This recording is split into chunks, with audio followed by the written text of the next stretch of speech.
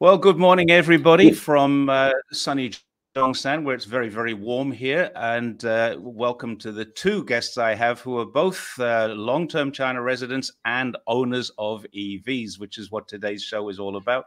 Not only that, both of these guys are extremely uh, vocal about China and uh, China's uh, transitions from whatever they uh, were to what they currently are today. So I think we're going to have a really interesting chat today.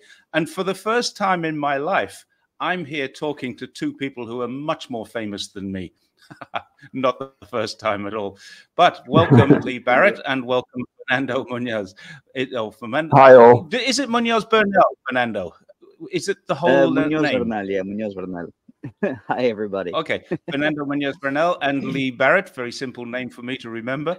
Welcome to Jerry's Take on China, which is a, a great show for uh, you two guys to join me and help me enormously. So thank you both for joining me.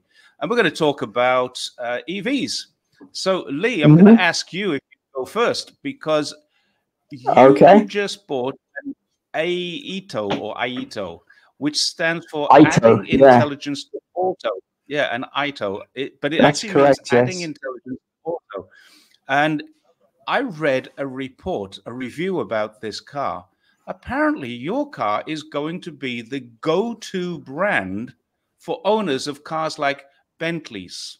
Such is the level of luxury, according to this review that I read, that Bentley owners, Rolls Royce owners, Bugatti owners are going to park their cars and buy an AITO.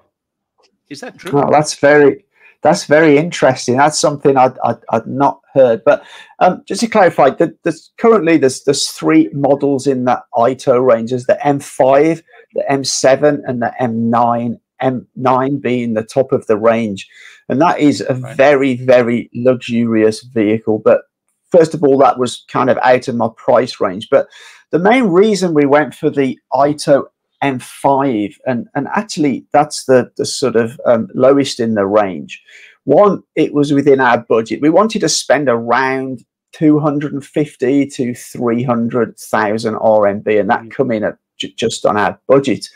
Um, but the reason we went for that is it's the only one in the three that is a pure electric. Um, the M7 and M9 are both hybrids, so they also use a, um, a petrol or diesel engine as well as a battery. Whereas the M5 has two versions it has the hybrid version and the pure electric version. And the pure electric version is the one we went for because specifically we wanted a, a pure electric. Um, and when we were looking around, we, we've been wanting a previously. Um, Vicky, my, my wife, had a we had a, a car which was an old uh, VW Bora, and that was like 10 or 11 years old. And we were starting to get to the point where we're spending more and more money maintaining it. Things were going wrong. So we Right. we really thought it, it was time to change. But we in Shenzhen, there's a there's an area close to where we live where you go and literally all the dealerships are in in a big square area. So there's there's literally all of them. Or uh, um, uh, BYD, Xiaopeng, Li Auto, NIO, they're, they're all there. So we spent um, pretty much most of a whole day um, sort of looking ar- around them all. And the, the- another one of the major factors in choosing the AITO, I wanted a um, car that had LiDAR technology.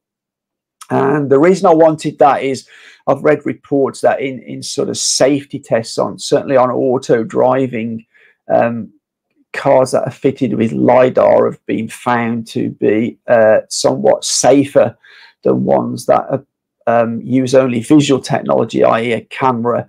And especially in tests they did in uh, sort of darkness or, or very adverse conditions. A LiDAR, for anybody who doesn't know, is kind of a sophisticated kind of radar.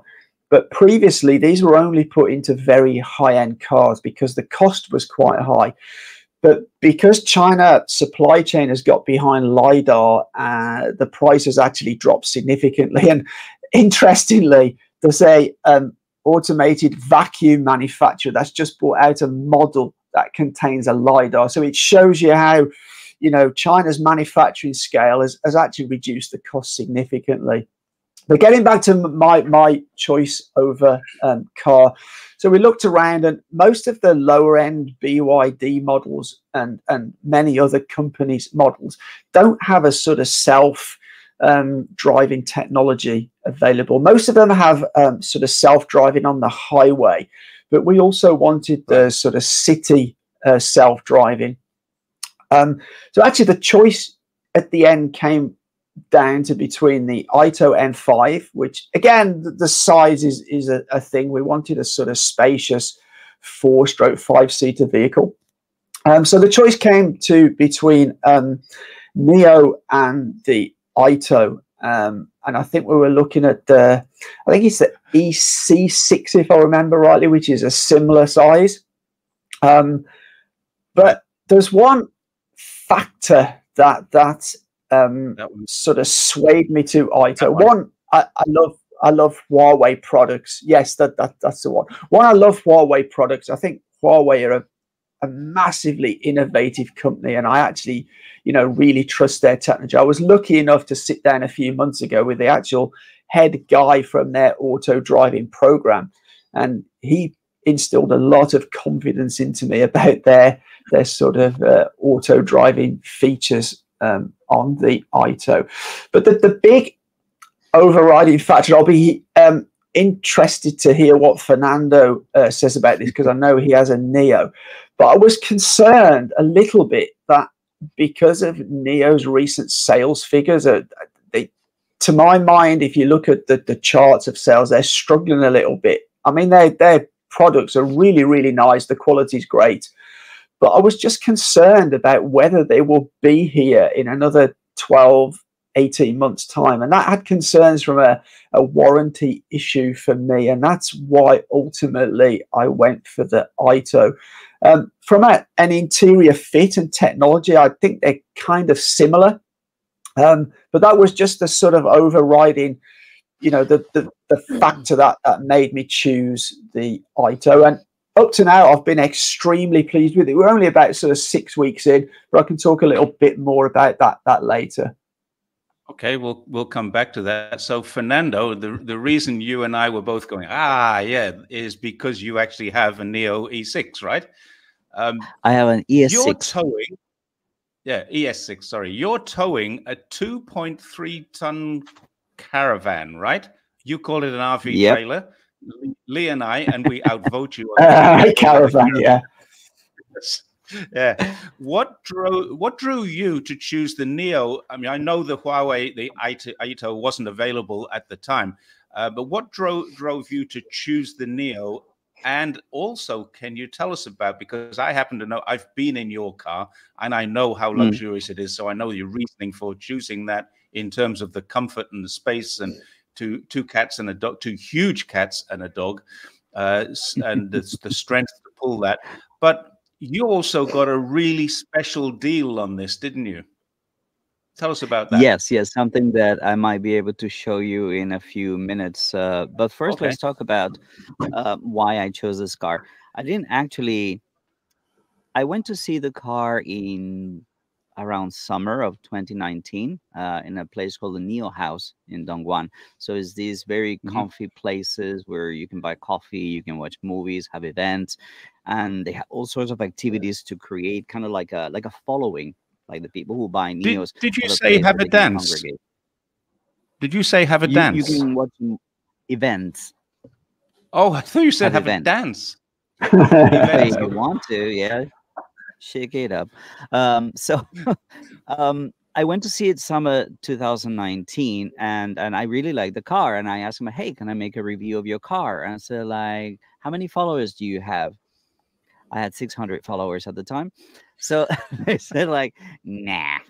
So uh, anyway, fast forward to um, around November, and in, it was time for my wife to. She already been driving her car for about a year. She had a smart, and uh, we had already paid a lease on that one. So I was saying like, oh, why don't we just buy another car for you, like something nice. I was driving a Mercedes Benz before.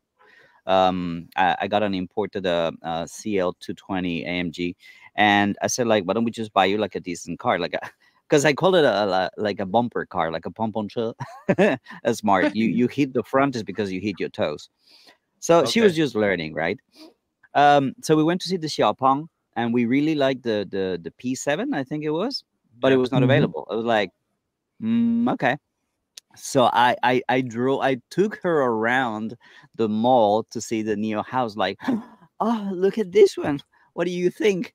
And she went in and she fell in love with it. She fell in love with the with the AI little thingy, the NIO, um, all the features and everything. And we walked out with a signed contract.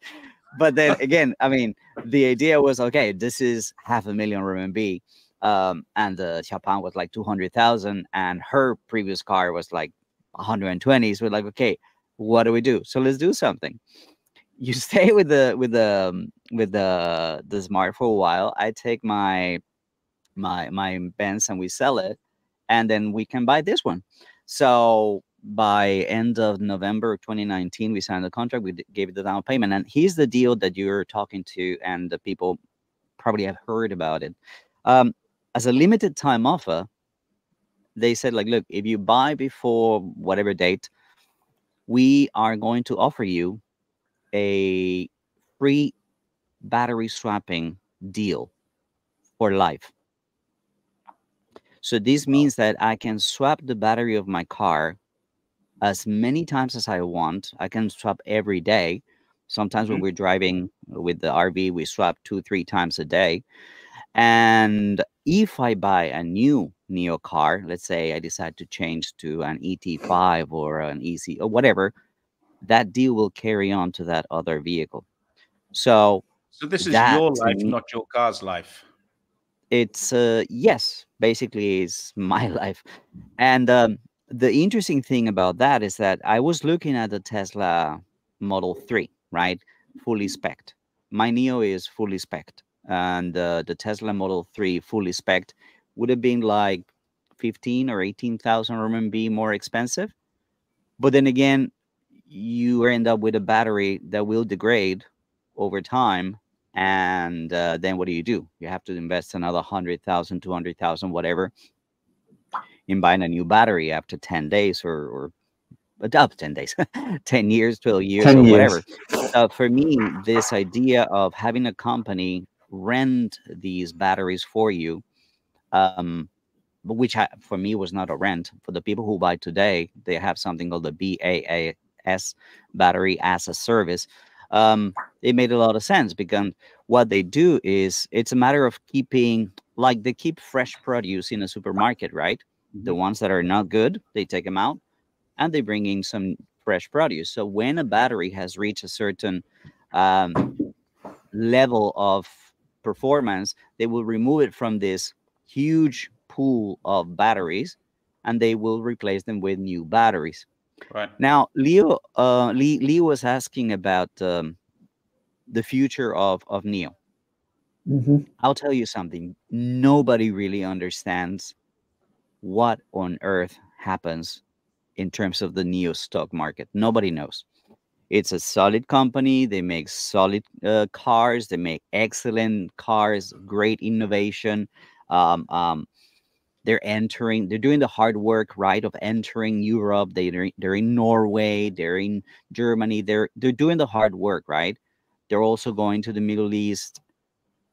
The stock market, just the stock doesn't reflect how much they do. Uh, so I understand that concern that, that Leo is is mm-hmm. is uh, expressing. However, looking back, it's been like that since forever. It doesn't seem natural. It doesn't seem seem normal. It seems like forces are keeping the stock of this car low. However, investors seem to be able to see uh, through that fuzzy investment thing because anytime they need more money, they find it and there's more investment. Now the next move from from NIO is to create a lower brand like you have Toyota and and um, and Lexus. Well, NIO is going to be the Lexus, and now they're mm-hmm. creating a lower brand that's going to be uh, more affordable and more more popular, so to speak. Um, a very famous phrase by the, the CEO of NIO is that they don't make batteries with wheels. And we're going to see batteries with wheels. Uh, I have some pictures of batteries with wheels um, uh, here. So yeah, that's that's basically why I decided to to get the NIO, the deal that they offered me, and just best car I've ever driven, man. The the acceleration on the car is just insane. So. I've been back to you sucked into your passenger seat before. So um, you probably don't know this. Uh, David has pretty much said exactly the same as you, except he added that they have a massive cash reserve, which is uh, obviously good. Um, so Lee, you probably know this, and this is a this is a question that ju- that just came out of what um, Fernando was just saying. What Mhm. does it actually cost to fully charge? I mean, if if your car was a petrol SUV, it would probably cost you 600 RMB to fill up with fuel. What does it cost to Mhm. fill up with electricity and drive it away fully charged from it from basically empty? Okay, so um, I can't actually answer that because I don't know.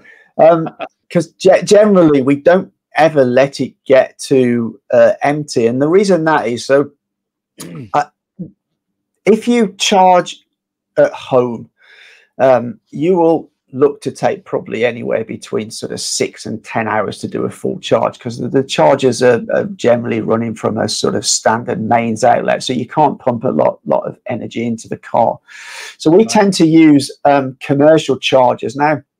We generally let ours most of the time once it gets to around 30% we, we will charge um, and we use the commercial chargers now depending on what time of day um, you charge and what time uh, sort of how, how long you're charging what the um, capacity of the charger is depends on the uh, price per kilowatt hour you pay Okay, so the time of day. Yeah. do- yeah Yeah. but generally uh, up to now we, we will do a charge from say 30 35% up to to sort of full and we're generally paying around about 50 to 60 yuan i think for, for that actually it's my wife who normally does it so i, I, I, I apologize but i don't have all the, No, the okay. details now but it is significantly cheaper but um i i do get Fernando's point about battery swap. So the AITO that we have comes with a eight year warranty on the battery.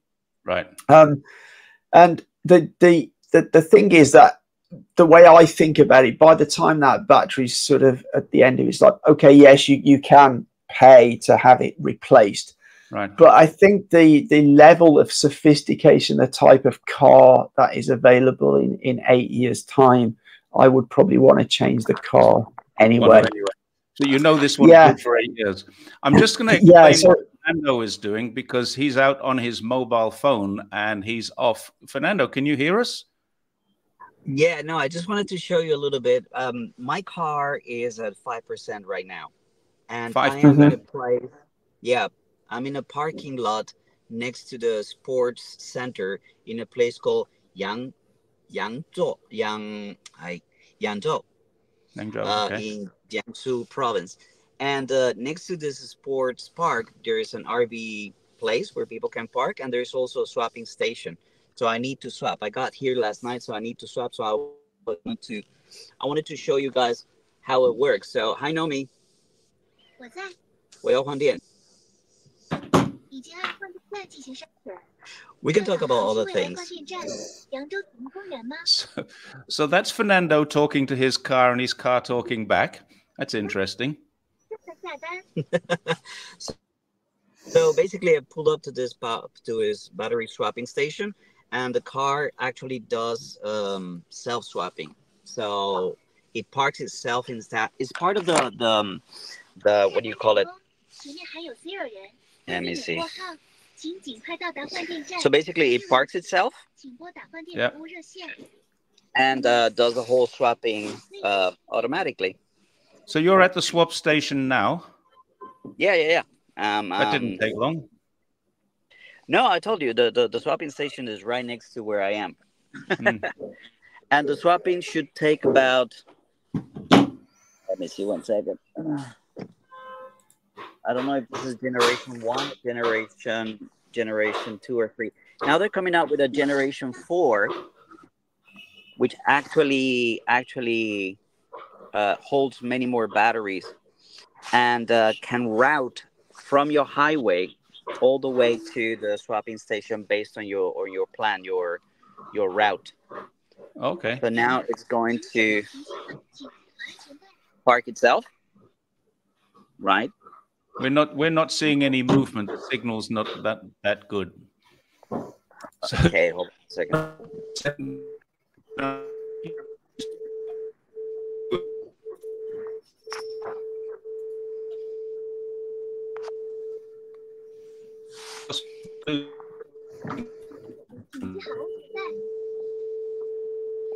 Oh, hold on. I need to. I need to buckle up. You guys can go on, and, and then uh, I'll come back once after I swap.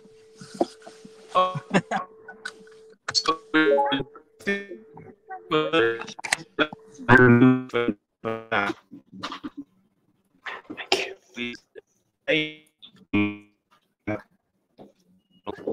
Jerry, I've got some sound issues with um, you coming through, and you have frozen.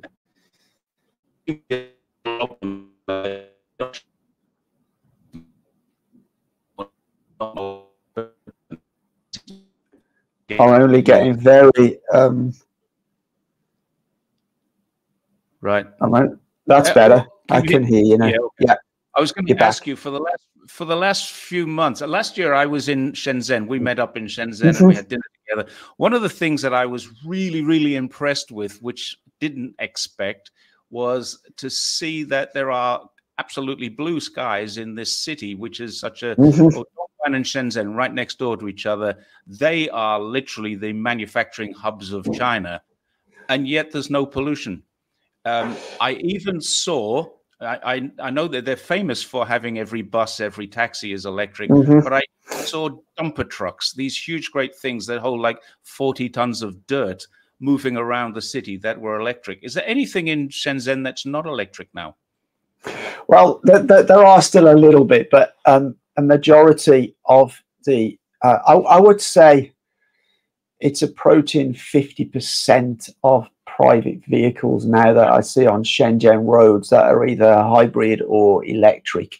Um, as you mentioned, all the taxis and all the buses are electric, and that's been the case for a significant amount of years now. Um, pretty much every DD I get into is electric because obviously the business model favors them to buy an electric vehicle um, because it's much more efficient to run, so they make more money. So pretty much all the DD drivers have electric vehicles. Yep. Um, we're now starting to see fleets of electric um, e-bikes, these rental ones, um, entering Shenzhen. So yeah, I, I would say you know certainly over the last two or three years, from a private vehicle point of view, I'm seeing significantly more. And if you look at, at the sales, I think the sales of EVs now are approaching fifty percent. Um, I, I I find it a, a bit crazy to think that now people would still consider buying a petrol vehicle. I understand that if you're like um, a petrol, I had a discussion on Twitter um, a, a few days ago because people were comparing this new Xiaomi to a Porsche. Now, in my opinion, if if if you're a petrol head, you would still buy the Porsche because you know I I, I go back to the days when I owned a, a BMW Z3 and Nice. on, on the English A roads, there's nothing like driving something like that. You know, as as a as a car person, you, you've got the the engine, you've got the gears. You know, you just don't get that electric car. It's a very different experience. But what I would say, and, and I, I I find this interesting with with Xiaomi's uh, marketing, they they focused a lot on the performance of the car. You know, it does 0 to 100 kilometers an hour in less than three seconds. It's it's a very fast car. It, it's very sporty. But to be honest, unless you live in a fairly rural place of China, I don't see how you're going to be able to use a car like that in China. The UK is slightly different. We have a lot of country A roads, which are quite fast roads if you've got that kind of car.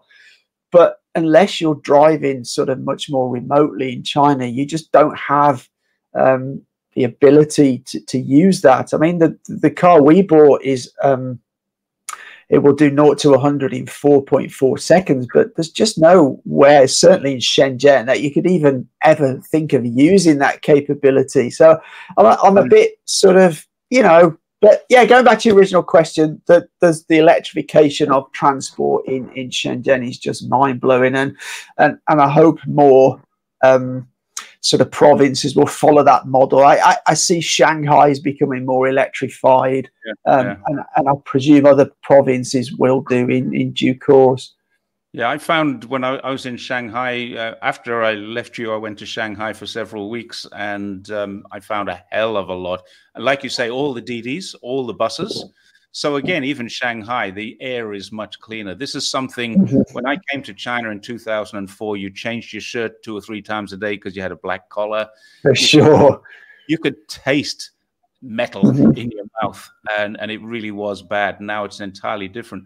So we've got mm-hmm. uh, Fernando back. He sent me a message saying he's done. Are you, th- are you okay.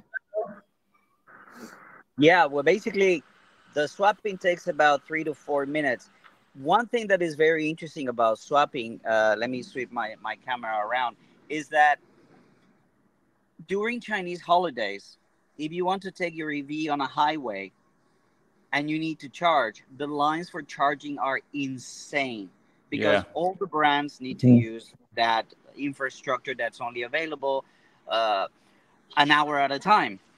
So I'm done. I'm now at uh, what is this? 93%. But when right. you use battery swapping, you just pull up to a battery station and that's it. Now I want you to look. There's one waiting to swap. There's another waiting to swap. There's another waiting to swap. Uh, um, this couldn't be any more realistic. There's there's there's a swapping situation where everybody does swapping because it's so much more convenient than charging. You can go ahead mm and go with your life, go with your day. Um, if you don't have a charger at home, for example. So that's that's a huge advantage, and it's a very different business model. But that's the reason why I chose NIO over Tesla mm-hmm. and anything else that was available at the time. Um, so in a matter of five minutes, I'm done. I have 93% of my battery, and I keep going with my day the fact that it's free. I would, I would like to just raise, raise a point around that. You, you mentioned the um, that there are large queues for, for chargers, um, and and I quite quite get that. We we did actually travel at um, Chinese New Year, although it wasn't very far. It was a, about a 300 kilometer journey. We didn't have an issue. Um, the, the services we stopped at had a row of about 25 chargers. Um, we didn't have an issue. Now, the, the, the slow charging is also something that's that's actually been um, if, if, you look at Huawei, Huawei about a month ago um, announced one of their new chargers, and that will charge from pretty much 15 20% to full within about 10 to 12 minutes. Um, so I, I, and they they they um, reckon they will roll out 100,000 of these chargers over the course of 2024. Um, I, am actually surprised. I didn't realize till we bought our EV just how um, massive the charging network is in China. Like the, the weekend, we, we went to, um, I was actually shooting a second video about our car. We, we, we had a first video, it was really popular.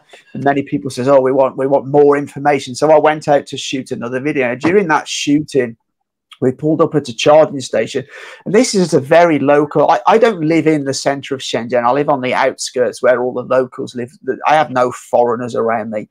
But we pulled up at a relatively small, mediocre shopping center, and there's a charging station there with 60 something, you know, fast chargers and that, when I say a fast charger, that is now, we went for, I think we were at about 40% and we went to full in about 38 to 40 minutes, uh, which right. is not, not crazy.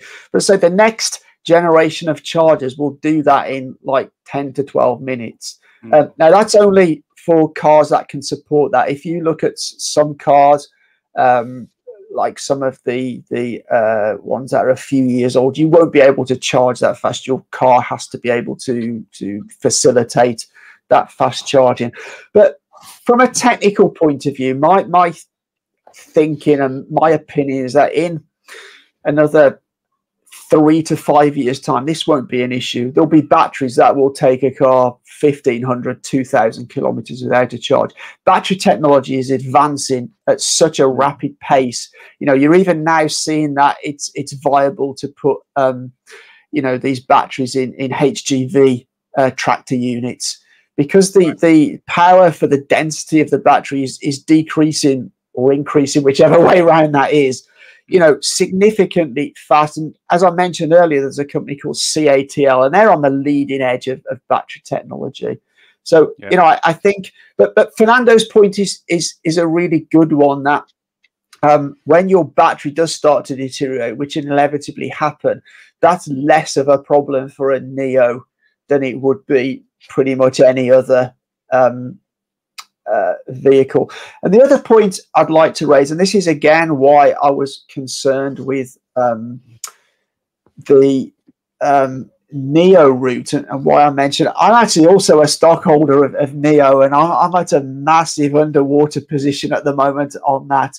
Um, because you know I, I, I thought that they were going to be and I think their technology is great I think their cars are, are extremely well I do think they're slightly overpriced in the market now, but hopefully with their sub brand, um, they will sort of um, remedy that. So that that's a thing to to to consider. But I think that that that, that potential that you can get a brand new battery is is is very good. The, the only one thing I would say is that to build those battery swap stations is incredibly expensive for NIO. And like for example, um, you know, for, for NIO to enter Europe and sell on the base of that battery swap technology, they have to invest a huge, huge amount of money into building out those battery swap stations. And I do think that's a little bit of a negative on NIO's part. You know, a standard charging bay will cost, you know, infinitely less to to construct than a NIO um, charging station. So that, that's just a sort of counter argument that I would put to to mm. to NIO strategy. Let, let me just answer a couple of questions that have come through here. Uh, I saw one from Kirkland Day. It's gone up off the screen now, uh, talking about jobs and work in China. Contact me by email, Kirkland. My email is in the uh, the bio of my YouTube channel, and I will answer all those questions. But we're talking EVs today rather than jobs, so let's stay off that topic. Another one says, Jerry, do you have a car? That was quite a long while ago, but uh, we've been talking ever since. The answer to that is no, I ride a bike, but I do now have an electric bike, which is just a normal standard uh, road bike with an electric motor on. Now, there are electric bikes which look like motorbikes here and electric bikes that look like scooters. Mine looks like a bicycle. And um, it's really quite good. I, I can rock it up to about 45 kilometers an hour on this thing and uh, really enjoy the ride and get a good exercise too.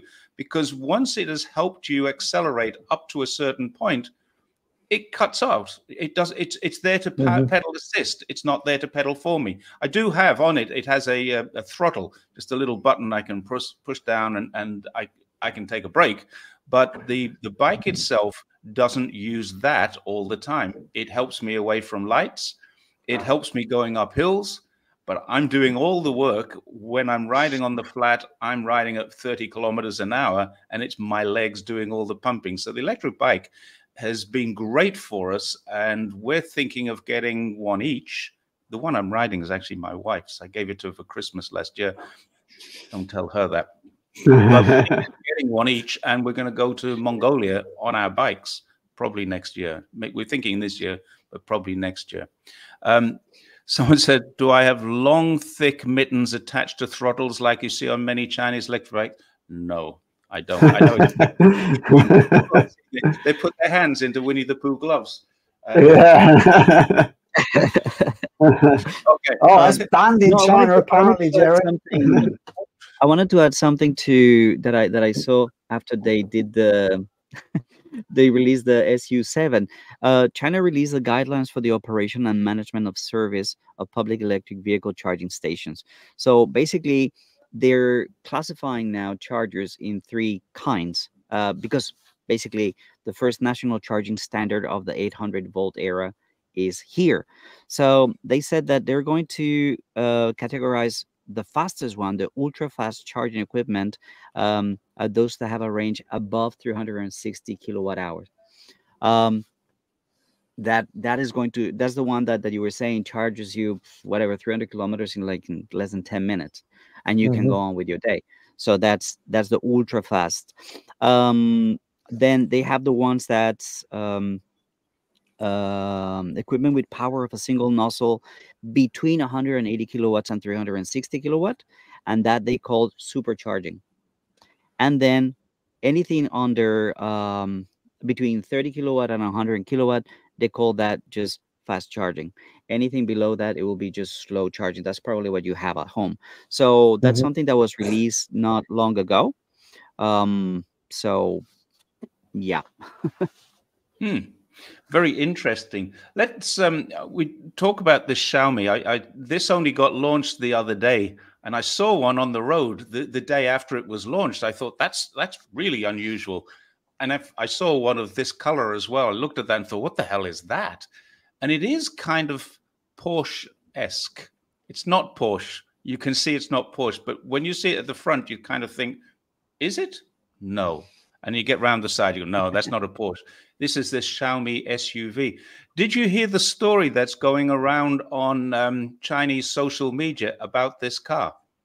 Did either of you hear the story, the ripoff? No. Um, I heard something about it. Yes, like basically everybody went on to to book it. Basically you give a little bit of money and you book your car. It goes into pre-order. Um, but they only have a certain amount of time until you can uh, remove that booking. You say oh i don't really want to buy it so i'm just going to remove it. That yeah. might have affected the numbers that they produced they went up to 88,000 or 89,000 90,000 um, bookings, almost 90,000 mm-hmm. bookings in one day. Um, but then some people uh, forgot that there was a, a window of time uh, during which they could actually withdraw their their booking if they wanted the money back. It was mm, no no commitments, no no penalties, just withdraw your money. But once the time passed and they forgot about it, they thought it was a joke or they thought it was oh this is funny. Oh yeah, I'm gonna buy one and joke with your friends around the table, and um, they were asking for the for the for the return return of the money and it's like sorry the, the, the window of time has already passed yeah. so there's a little bit of a talk around society about what mm-hmm. happened to some of these people but if you know more details jerry do do go on well I, a few details. It's, I've got the same story as you. It's um, it's what's called a cooling off period. China has this. I think most countries have yeah. this. Now, if you buy something, you have a cooling off period, and the cooling off period was three days. Now, what a lot of people did was they put their 5,000 deposit in, got the order approved, and showed it to their friends. They, they took a screenshot of it, put it on their moments, and said, "Look, I've just put a deposit down on a Xiaomi SU7. It's going to be the best car in in uh, you know, it's a telephone which has turned into a car, blah blah blah." And you know, having a big joke about it. And then Xiaomi said, uh, we understand that some people are doing this as a joke, so we're going to extend the cooling off period to seven days. And they send out messages to everybody saying that they're doing this. And some people were stupid enough or ignorant enough or not paying attention or too lazy. I don't know what their reasoning, but some people didn't realize that this three days had passed. then the seven days had passed.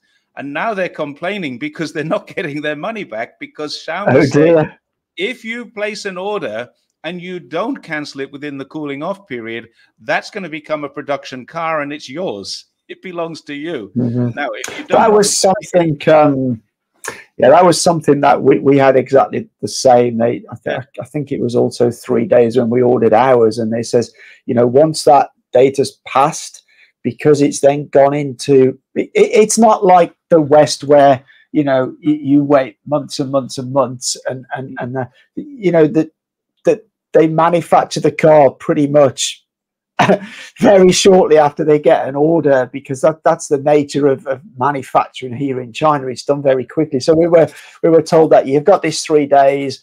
Um, if you cancel after that three days, you don't get your deposit back.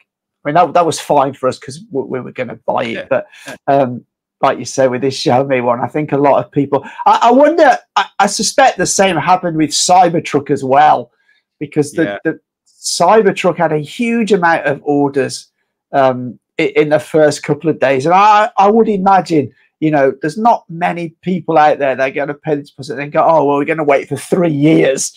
You know, it's like I, I think Tesla has this this sort of habit of, of announcing things that are just in the mind of Elon at the time he announces them because, you know, ever since Tesla first came out, it was going to have full mm. self driving. And how many years, like five years later, it still doesn't have um, full self driving. And just something very interesting on this about a year or so ago, I visited um, this um, facility in Chongqing, uh, China, where they have this kind of academy of it's like a central Chinese place of autonomous driving, like a right. research center. And I actually spoke to a professor there, and he says until you get um, in, infrastructure in cities that can actually communicate back with the car, he doesn't believe full self driving is possible. And oh. I'll talk about it a little bit later about my experience in, in the AITO about the full self driving because we, we've now got the full self driving package and it's not perfect for sure okay, cool. Um, I wanted to go across some of the negatives that I've seen. Um, this, Fernando, maybe you can answer this question. Um, the dangers. Uh, how often has your car burst into flames, or is it just about to burst into flames? And this is something, yeah, exactly. We're seeing this. I personally have a theory. Uh, it's it's a it's an opinion. It's a theory that this is the oil industry putting out scare stories about cars bursting into flames because I've seen a graph which shows how many cars actually burst into flames. And it's a lot less today than they used to be. But the mm-hmm. oil industry say they're all electric cars. Is your car a death trap for you? And do you have a fire extinguisher? Because I've got one here I can give you. I do have a fire extinguisher, sir. Of course.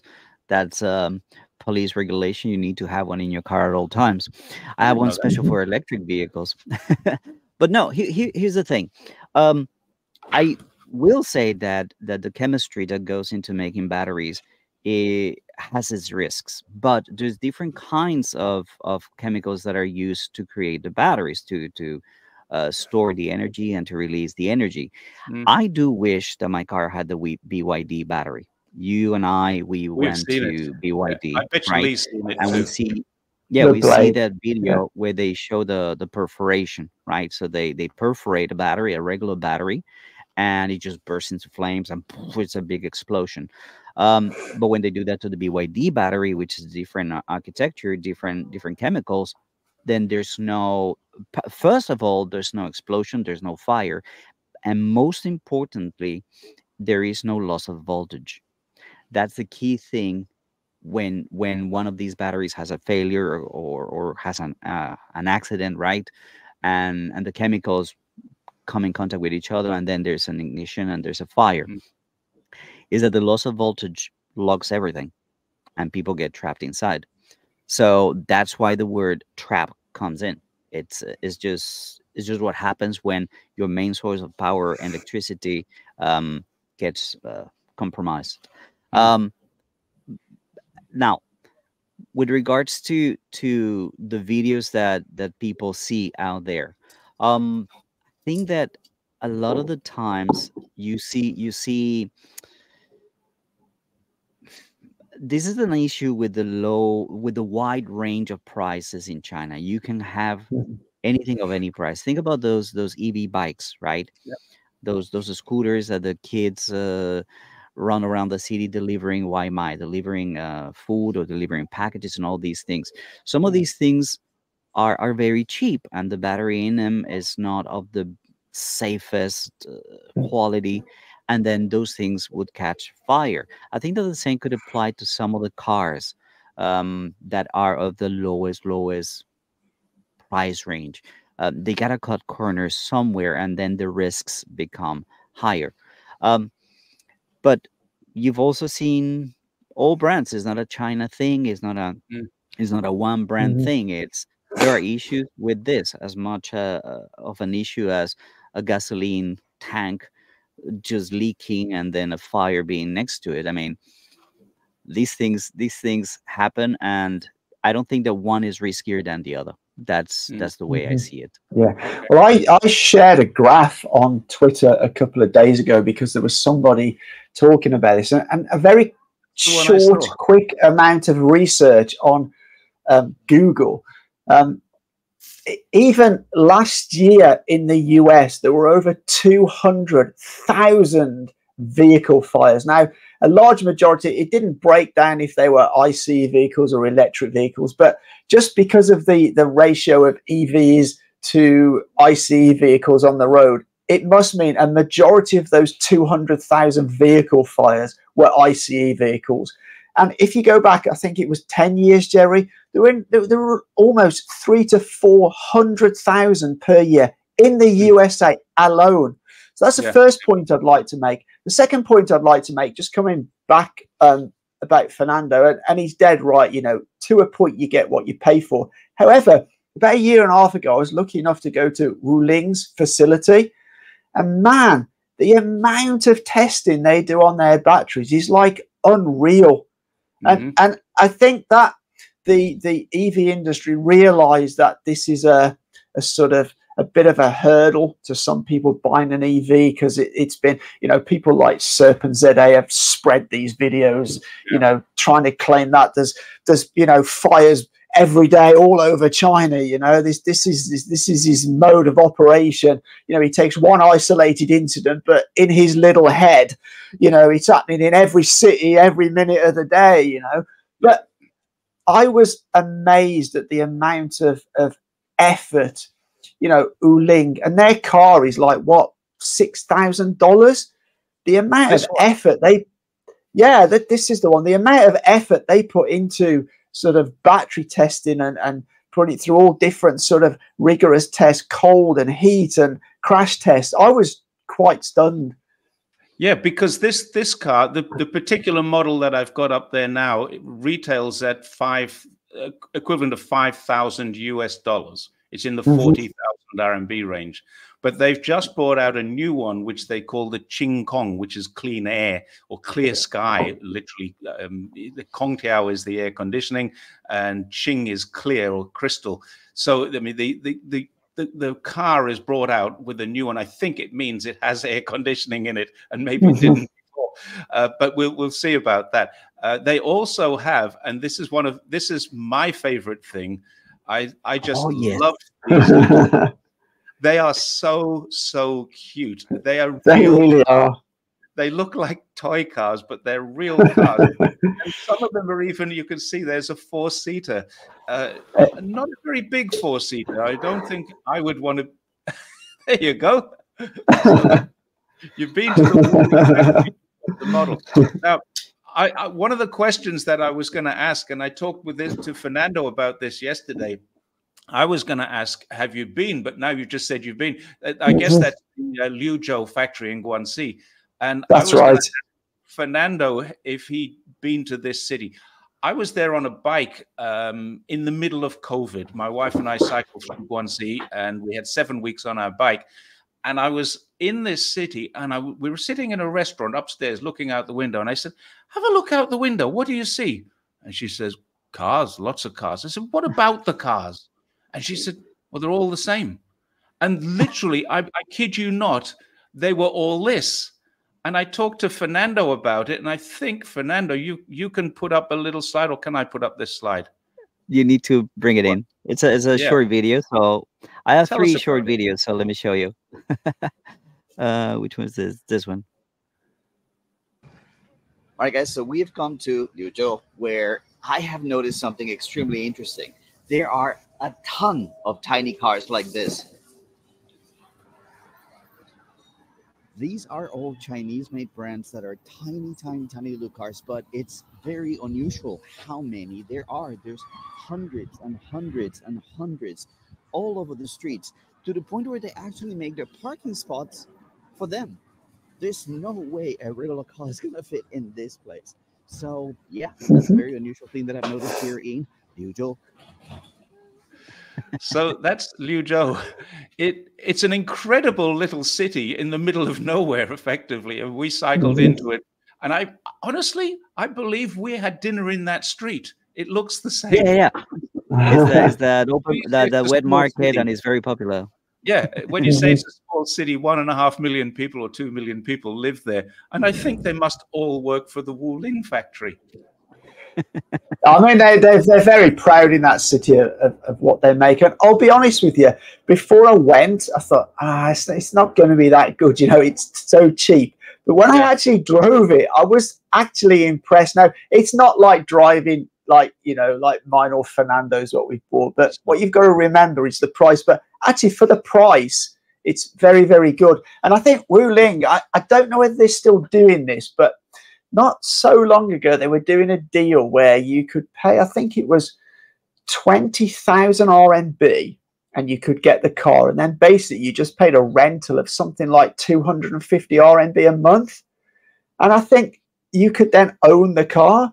And i think for for like students or young people in their first job i mean Mm. i potentially buy one. I, I also think they're very very cute too and I'd actually buy one as a second car, just as a city car around Shenzhen. You know, you, you want to pop down the supermarket, you want, mm. but I'd like to decorate. I mean, and, and in the, the, the city you just talking about, you see many of them decorated with like ears on Yeah. and paint jobs and Mickey Mouse and all this kind of stuff. Yeah, I yeah. Winnie the Pooh so down the road cool. from us. I posted it on Twitter. We've got one of those cars painted in Winnie the Pooh. Look, this one's going to be in trouble soon. Just just like this one, right? Yeah, exactly. I can't get a focus on it at the moment, but yeah, this is a, out that's this that- is a little Winnie the Pooh car. Oh, um, I'm going to tell you something that's going to make you fume here, Fernando. On the back of your um, RV caravan, you have a rack for your bikes, right? At the front, yeah. Oh, the front of your RV. I've seen because I've seen your RV, but it, it self parks. I wasn't sure which direction it was going. Um, I've actually got a video of, of Fernando parking his RV. He gets out of his car, uncouples everything, and then starts pressing buttons on it on a remote controller, and the, the thing parks itself. It's That's amazing. that's another EV. Yeah. got electric wheels. Um, That's a thing that, anyway, that is going to revolutionize.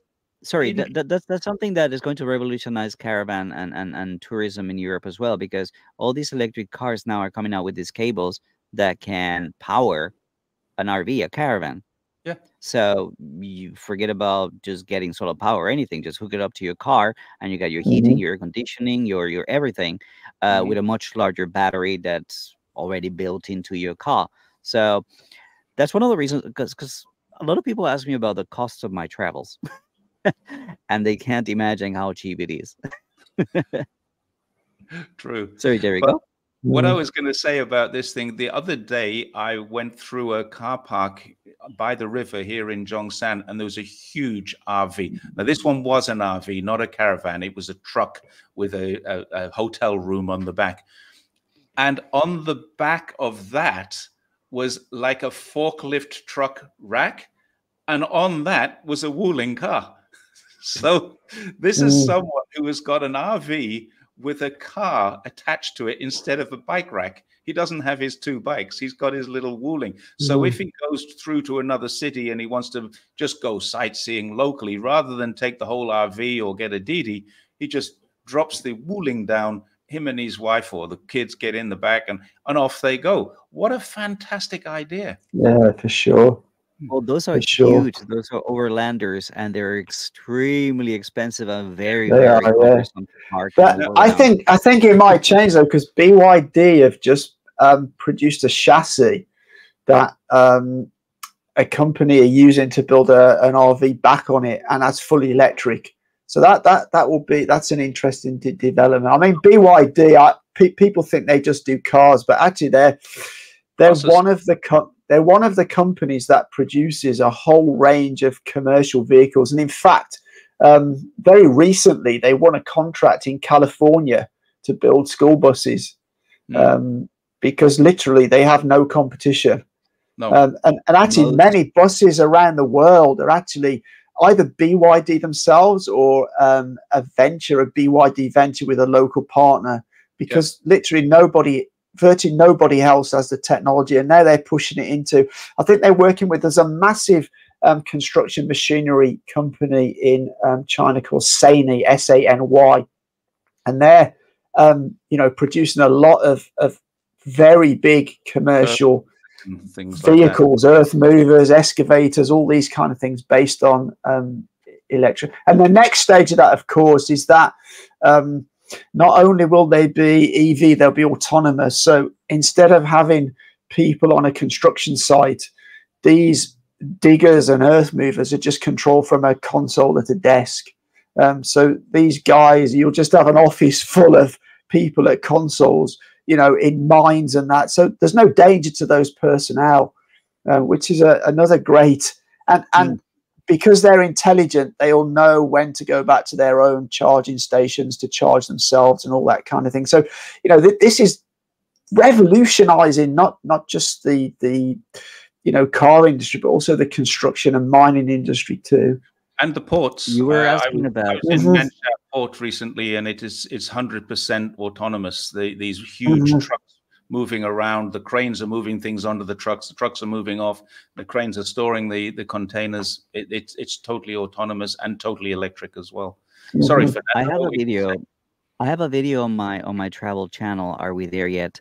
Uh, where I show uh, a company in Dongguan, in Songshan Lake, next to Huawei, where they are building. They're some of the first people to build electric outboard and onboard motors for ships right. and boats.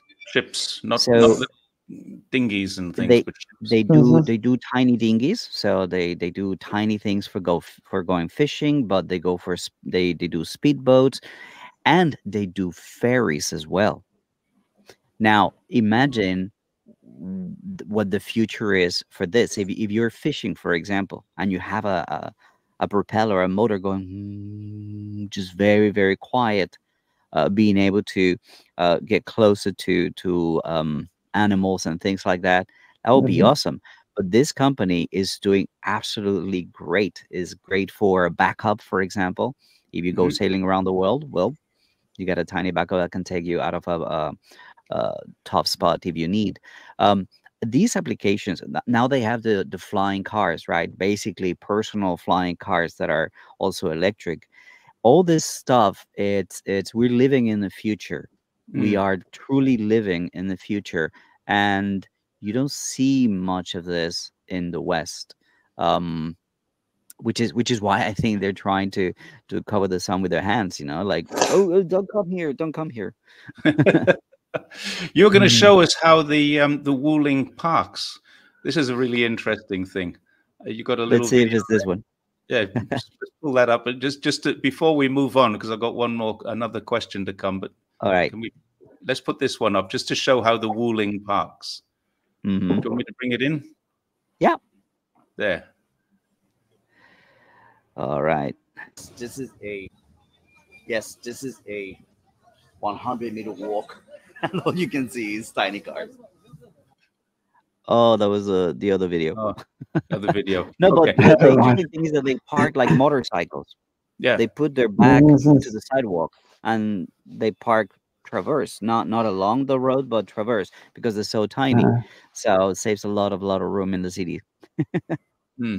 Let, let's move on. I saw a question come up about hydrogen. Uh, so, Lee, a question for you uh, mm-hmm. about other technologies. I, I read recently that Japan is not going down the track of EVs. They're going down the track mm-hmm. of two different things. One is hybrid, which uh, my dad used to have a hybrid Toyota. It was a fantastic car. And the other one uh, was the, uh, his was the Yaris, really, really nice car. And mm-hmm. Uh, the other one is hydrogen. So it looks like Japan are not going the EV track. Do you think that's a cost issue? Do you think it's uh, they, they they see a better option down this using that track, or do you think they've just realized that China has just got such a great big leap ahead of them that they can't compete? What's the story? I I think it's down to that they can't compete. I think um, obviously some of the largest legacy automakers are in Japan and I think they were very, very late to the game. Um, I spoke to a guy um, about a year ago at an event I was at, and he's actually a hydrogen engineer, um, actually working for a company in China.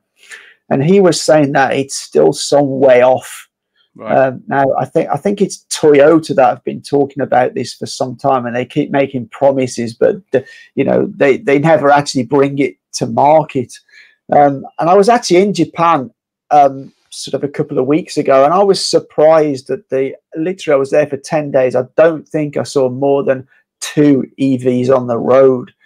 Um, I, th- I think where China benefit is they realized many many years ago that EV was going to be the new vehicle technology. They they were never able to compete in ICE vehicles, so they they tried a little bit. Most of their efforts were disastrous, really but they put all their efforts into um, EVs. You know, from a point of view of even, you know, owning the mines or having partnerships with the mines to get the minerals and, and the whole supply chain, and that's where they've come really, really strong. And I think, personally, I think that for the foreseeable future, that EV is going to be the technology.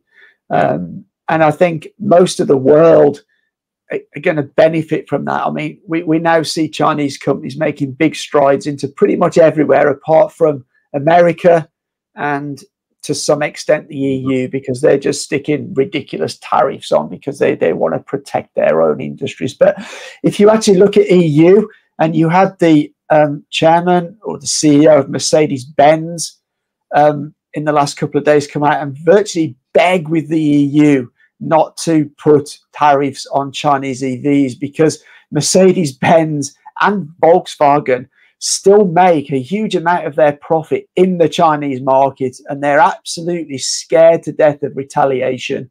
Mm. Um, you know, so uh, uh, I think I think the EU will, will come to some sort of compromise. And and interestingly, if Trump gets elected next election, he says he's open to Chinese companies building joint ventures, factories in, in the US, um, because then it'll give work to US workers. And I think that's interesting because I think at that point, will Chinese companies go for that? Because then, if obviously Trump is, he can't do a third term and somebody else gets it, will they then go, oh, well, we're just going to take over those factories or you've got to clear out because you know, there's no stability in the US market for, for Chinese operators. That'll be very interesting to see what happens there. It, it is they interesting. Did it to Russia, they did it to exactly, Afghanistan. Sorry, Fernando, go on. No, they Go did on. it to Russia, they did it to Afghanistan. They just take their money Mhm. and just Yeah. bye bye. But the, the way that the Chinese um, manufacturing, car manufacturing, the auto industry in China existed only because of that. What China did to the West is said if you want to build cars in China, you're welcome to build them. If you want to sell cars to China, we're going to whack massive tariffs on them. So Mhm. you come here and build them, and we'll give you all the workers you need. You're sharing the technology. That's your choice. You want the Chinese market. This is what you have to do. So VW were one of the first, and and they were quite happy with that. Mercedes happy, For Porsche sure. happy. These companies are doing very very well in China, much better than they're doing in Europe and the USA. Mhm. So are much happier, as you say. The the, CEO of Mercedes was was begging the EU, "Don't do this. Yeah. Don't." Well, I think Jerry, there's there's something else behind that. I I think European car manufacturers know that they can't be competitive if they build those cars in Europe. So what I I think will either happen, they either want to do joint ventures and put factories in Europe, and I think I think it's one of I think you possibly BYD were potentially talking about building a factory in Hungary. But Yes. the other thing I, I think they will want to do is actually build, like similar to what Tesla have done, is build their Mercedes electric vehicles in China and then sell them into the um, European market. Because I don't think, I think they know, like, we know that Tesla's facility in Shanghai is way more cost effective than any of his other plants anywhere around the world. And I think potentially that's what some of the European car brands want to do. They want to build them in China. And this will be very interesting where they're, they're talking about putting uh, tariffs on cars that are manufactured in, in China. Will that also apply to Tesla, or will they give a special consideration to Tesla? Because Mm. you know, a, a, a lot of the cars that that Tesla build in China are not for the Chinese market. They're shipped to many other countries. So I think it's a dilemma that these the, the US and the EU have here. Yeah, they also forget that General Motors have, I think, four, and Ford has, I think, six. It might be the other way around, but General Motors and Ford have between them 10 car manufacturing plants here in China. Mhm. Toyota have, uh, Honda and Toyota are massive in Guangzhou. They, they have massive plants there, and also up in Changchun in the north, where most of the cars are actually made. But these are huge, huge uh, export markets for Chinese built cars Mhm. what are they going to do if the car? Uh, the other one I thought of was Geely or Geely. Uh, Mhm. That car is actually a Volvo as well. So Sweden is exporting cars to America called Volvo, but they are a Chinese brand. Are they going to do the Yeah. same thing with that? So they've really got to start looking. Go on, Fernando. now they're throwing something else which is okay let's go to the source because it's it's all about stopping china the whole uhrc um the uyghur human rights project thing Yeah, yeah. that they're now produce a paper saying that um, the sourcing of aluminium in Xinjiang is done with uh, forced labor, and Right. aluminium No, goes into every single frame of, of, of most cars or, Yeah. or accessories and parts, wheels, things like that. So now everything that that that is touched by by by Xinjiang, but but factories in Xinjiang could theoretically get sanctioned, and that's what they're pushing for, right?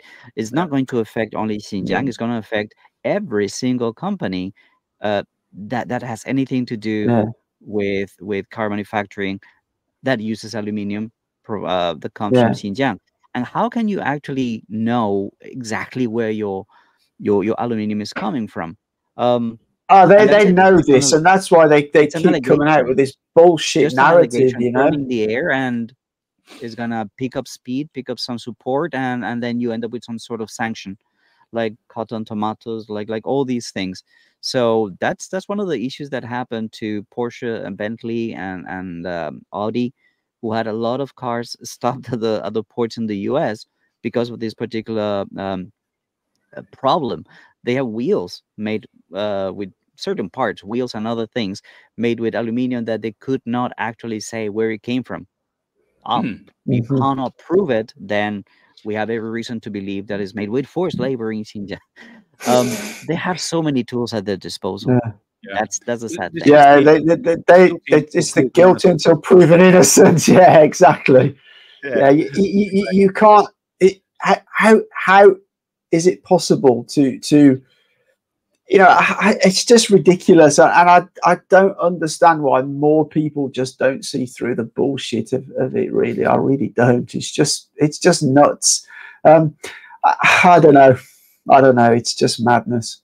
Yeah, yeah. I, I've I've got family members in Australia who've contacted me and said, you know, can you stop posting stuff like this? You know, you can't be the only one who's right. Mhm. Everybody else says the opposite to you. So, well, actually, Mhm. that's not true. Everyone in media is saying the opposite to me. But uh, yeah, everybody in China is saying the, the same as me. I got one more question that, about uh, a complaint because I'm I'm an Australian citizen. I follow Australian media, and we had a, a prime minister, uh, Scott Morrison. He's gone now, thank goodness. Um, I don't. I've, I've never yet met a person who likes him. Even people who support his party don't like him. and he's gone to America, which is perfect.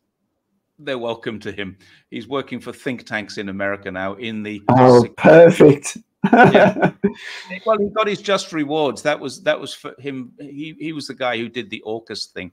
But a couple of years ago, when he was still prime minister, he was on national television. He said, "Guys, you've really got to forget about this EV thing. EVs cannot tow your boat or your trailer. They they're just not capable of doing it." And I have proof positive that they are. And he's sitting right here. Fernando, Mhm. is this true that EVs cannot tow a boat or a trailer for the Australian market, please? Just go to the Cybertruck video, right? When this pulling uh, is beating a Porsche while Yeah. towing a Porsche. But anyway, no, it is possible because these things are four-wheel drive, right? And it also depends on the kind of motors. So mine has has um, two motors at the back and one motor at the front. So Mhm. it's got a lot of power to do that. It's absolutely possible. It's a matter of how you configure the the gears and the motors so that they produce more torque or not. Or you want speed or you want power. Think about the Rivian, for example. There's just tons, tons of abilities that these cars can have, and they're designed for different things. Think about Mhm. all, all these all these trucks that deliver goods around China. We're not talking about the tiny bikes, the big trucks. Most of them are electric. Most Mm. of them are electric, and they carry Mhm. things up and down, and they have a whatever certain range, and so no. Yeah, I mean, again. As I- as I'm- you want. As I mentioned earlier, I think a lot of this, the, the motor technology is not an issue what, what, whatsoever. There's, there's plenty of powerful enough motors. The big issue is the battery, but the, the, the speed that they're innovating on battery technology is like breakneck. Yeah. you know, yeah. a- a- and, and we're at the early days. You know, you, you look at companies like BYD and CATL, they're making, you know, BYD just in the last 12 months increased their headcount on R&D staff by 30,000. 30,000 additional R&D people one company. one company, you know, and then you look at, at companies like Huawei, who are also probably, um, you know, doing R and D on battery technology. CATL probably have a huge R and D team. I, I I think it was um, material science, which is is what batteries is chemistry and, and physics and material science, material engineering.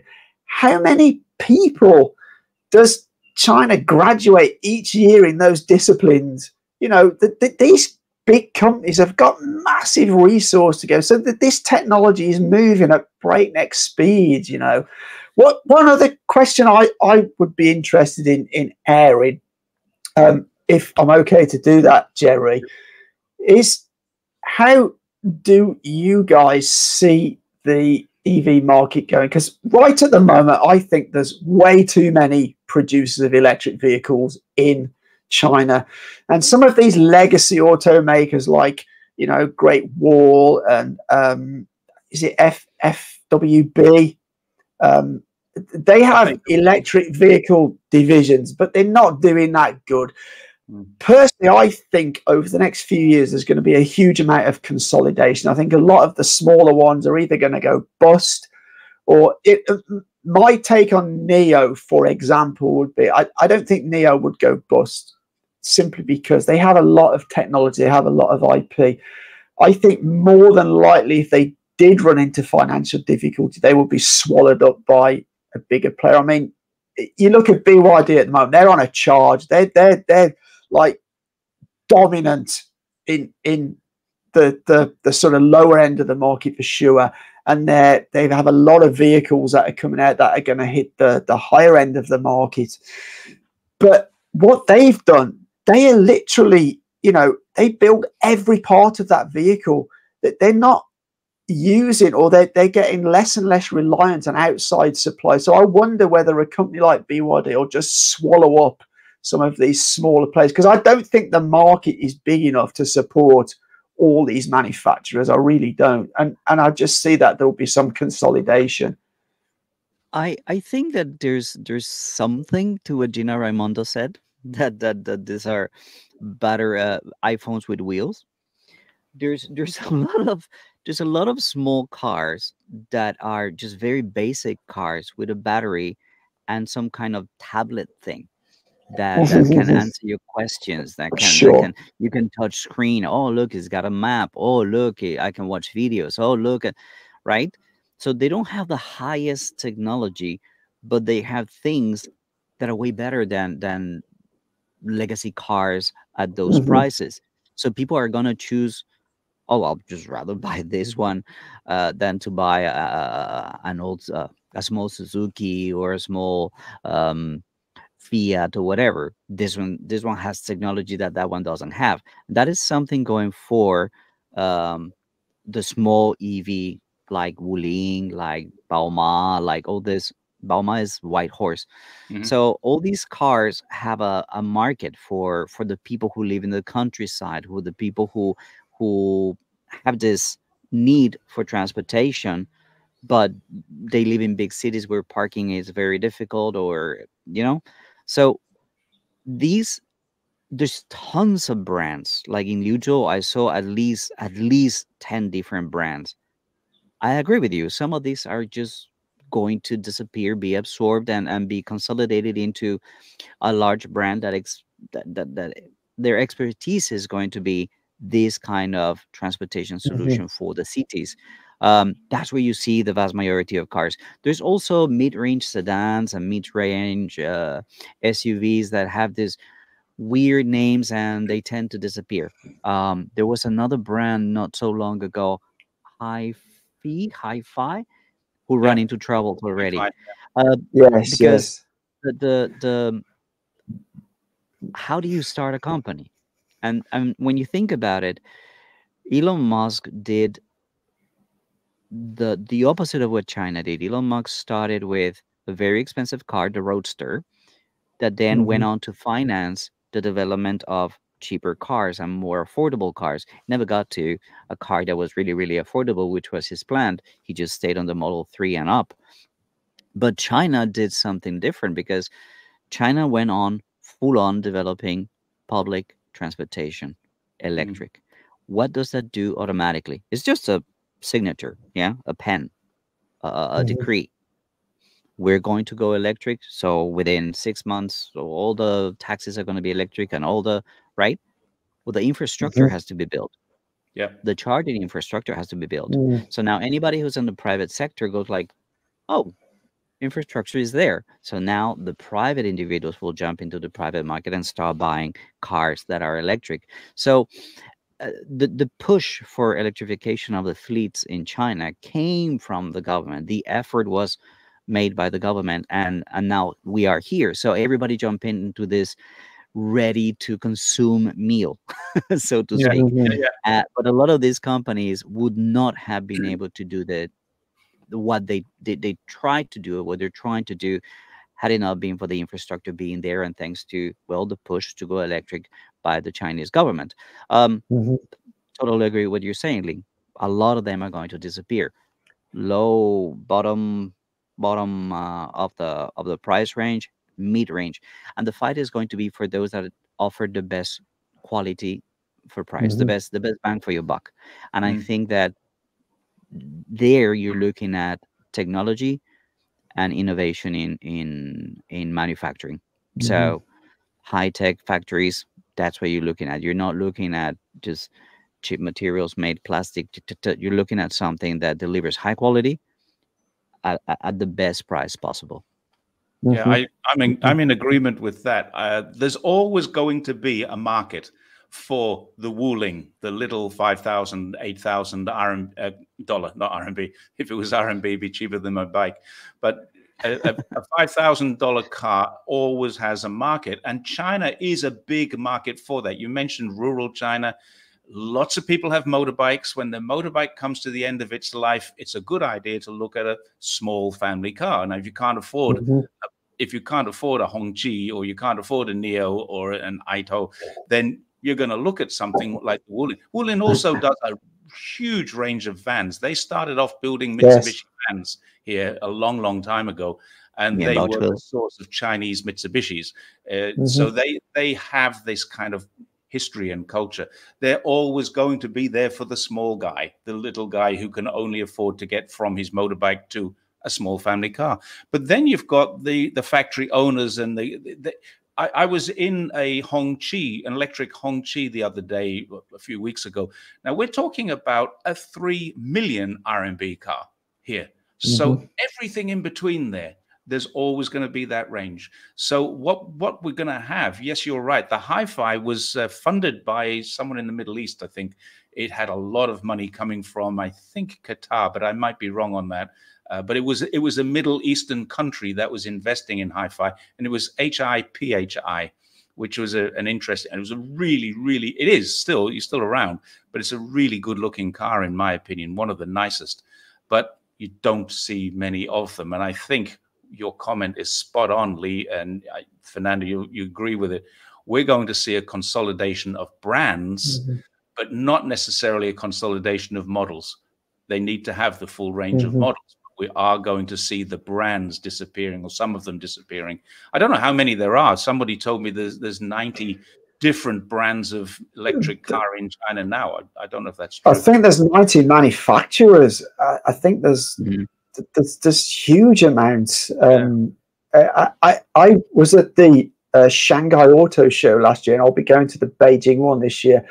And mm-hmm. you know, I, I I I live in China, and I was coming across brands and manufacturers the auto that I'd never seen before.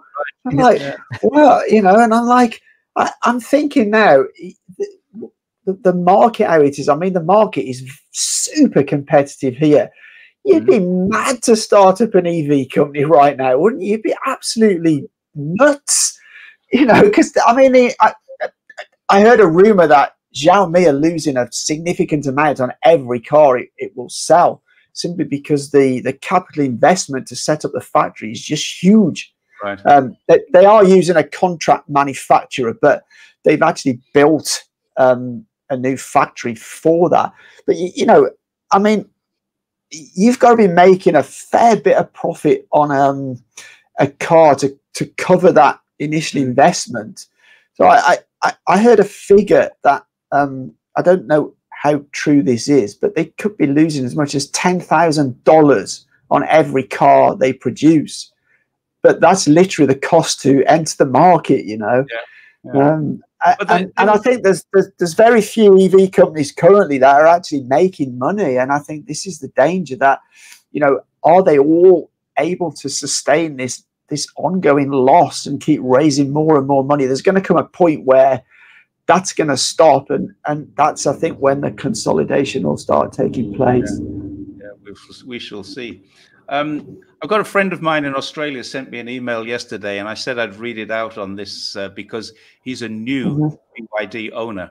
And so before we finish let me just read what roger sent to me yesterday. He's got a he bought his byd atto atto in december. He's got a problem with it. Wow here we go we've got a problem straight away when he starts it up, it doesn't make any noise. He's not, you know, it takes a bit of getting used to because you don't realize you've actually got power. You can hit the accelerator without realizing you should be going backwards. Mm-hmm. You, you, you vroom, vroom, vroom. and so there's that. He doesn't feel like his car has started. Uh, and he hasn't, he hasn't driven it much. He's retired and uh, he, he lives part of his life in China and part of his life in Australia. But he's only done 1,500 kilometers. And he has solar panels on his house. So he charges it up at home, plugs it in. He's done this a few times, plugs it in. It takes 10 hours to fully charge.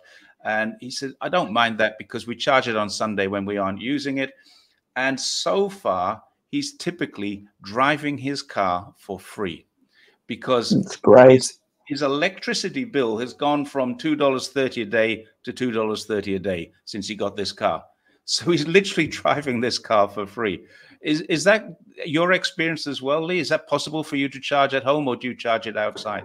Um, well, the the apartment complex I live in um, has got an underground parking. I'm on like the, the seventh floor, so I, I can't use a home charger. Right. But our apartment has got numerous chargers installed in, as most apartments are. I mean, something I would like to say is the, the charging infrastructure in China is just like second to none.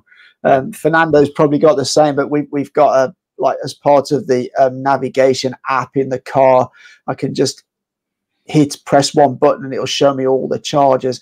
It'll tell me whether it's a fast charging station. It'll tell me how many charging bays there are there, and like even like a, a month or so ago, we traveled to a very rural area.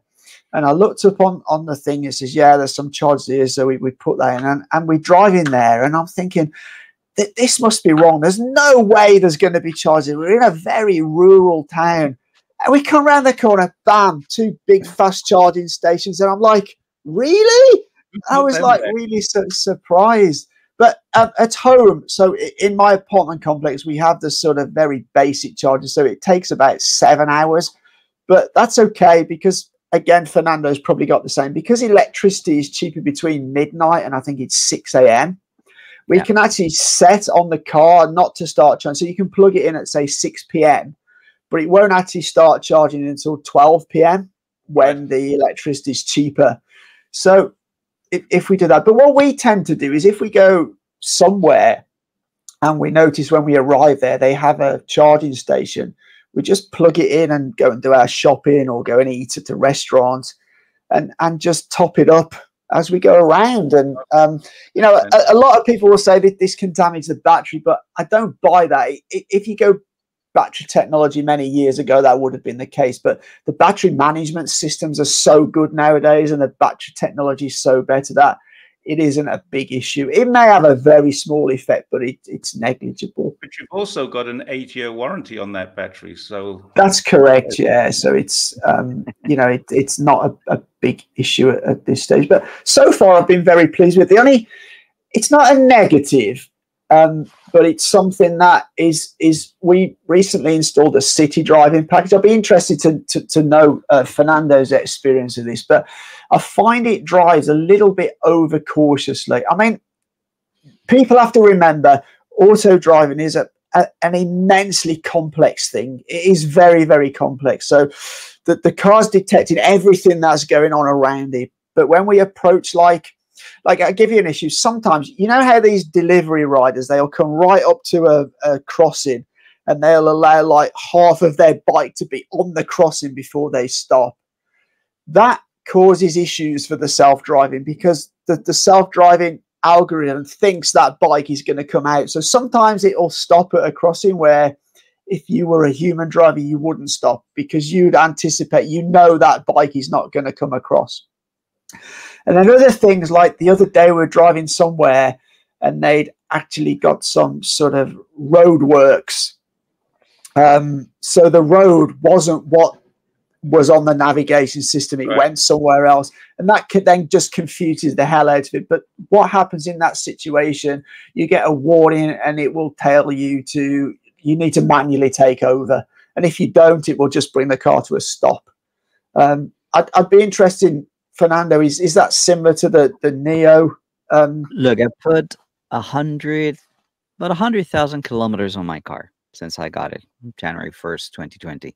Wow! And I use it quite a lot. I use it quite a lot. Um, the the thing is, if I'm with the trailer, the sensors at the back are constantly ah, sensing uh, the yeah. caravan. So so, I just use cruise control. But if I'm yeah. not connected, then I'm use it. I, I use it quite a lot on highways, right? Mm-hmm. Where it keeps me in lane. And there's sections that have been plotted, so to speak, by NIO that they they they actually can plan the route so they know where the exit is and it'll actually navigate and drive the car to the exit and actually do that for you as i was saying they could do that also for swapping if you're on a highway that has been plotted by NIO, it will actually exit the highway, get onto the service station, find the mm-hmm. station, the swapping station, park itself, up, and continue, go on. You don't have to do absolutely anything. Um, I, have used that quite a bit, but where I find it most useful is for traffic jams. No. Yeah, it's it's amazing, isn't it? Yeah. Just set it on and just like Mm. Just sit there and not have to worry about it for sure. Yeah, there's yeah. always going. There's always going to be someone who's too late for his mother's wedding. That is just gonna cut off in front of you. Mm-hmm. But I don't know if you got that joke. it's mother's wedding. I know what you're calling. But, but, but, in general, it's it's a very very nice setting. You just set it on, mm-hmm. and that's it. It just drives according to the traffic. Mm. Get past the traffic jam, okay, you either leave it or, or just mm-hmm. take on. But it's it's one of the most relaxing things, both on highways. It is, yeah, and uh, and uh, in city traffic. Mm-hmm. Okay. For, for so sure, yeah. I mean, it's not really a question; it's a statement. Have a look at this because you have experience with this. I know, Fernando. You've been to Qinghai and up to the border of Xinjiang, and you've been through China's most remote areas with Mhm. your RV. So, did you have a trailer with extra batteries? Um, no, what what NIO does, and I think other companies do this as well, um, is when you want to go to areas where the network is just not there, it's just not built yet, like in Xinjiang and certain areas of Yunnan. What you do is you hire a, a, a van. There's a big van with a generator at the back, and you tell them, "Hey, I I need a charge." For example, in our case, when we want to go to, to Xinjiang and oh, we have a stretch of 500 kilometers with the trailer and with the winds in Xinjiang, we probably can only drive like 250 kilometers. So we will need, and the, the, the, the computer tells us there's no charges uh, nearby. So Mm. you need to get a charge. So the night before, we know we were going to do that. So we talked to the guy uh, from NIO and said, like, hey, we're going in this direction um, can you meet us at this particular service station? But it's something more human. There's a human side to this. You talk to people, you coordinate, they meet you at a safe place. You can't do that by the roadside. You need to go into a service station, and and uh, they they charge you there. It's a little bit slower. It will probably take an hour and a half or something to top you up, but then that's only available in areas where just the infrastructure the infrastructure is not there.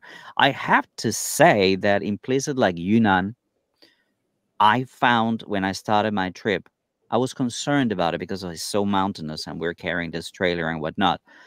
But we found charging towers and charging stations and charging places along the way that were ready to put into place, ready to put um, to work. So this is just it just keeps on growing. Uh, the the other thing that um, takes place is other brands can also use other companies. So, for example, some brands can talk to the to the um, to a different brand because they also have these charging vehicles. Uh, that just makes it possible for you to go to places where the demand for electric cars is not there yet, Mhm. um, and the charging station is not there yet, but the tourism is quite big. So that's that's what we did. That's how we experienced it, and and it's quite cheap. You can buy, uh, for example, when you go to Xinjiang, you could buy packages. So 15 chargers for this much, and it's actually similar or cheaper than charging your car at a at a at a normal uh, charging port, but it'll take a bit longer, and you need that coordination. But it is what enables you to go to every corner of of, of China. Yeah, yeah. It's that, I, and I, I know I've experienced Gansu and Xinjiang on a bike. I can tell you there mm-hmm. are long distances between mm-hmm. towns, and sometimes 180, 200 kilometers between service stations. So I can get that. But I would guess that now, I haven't been back to Xinjiang since 2019. I would guess that now there's a lot more uh, charging stations. I know that Tesla has built some out there as well. Mhm. So yeah, somebody put up a question: What are the maintenance costs of a, an RV? Uh, An sorry, RV or an EV? Say, Sorry, an EV. Yeah, sorry. What For are the me, main? I would have to say the thing that I've spent the most is on tires. Mhm.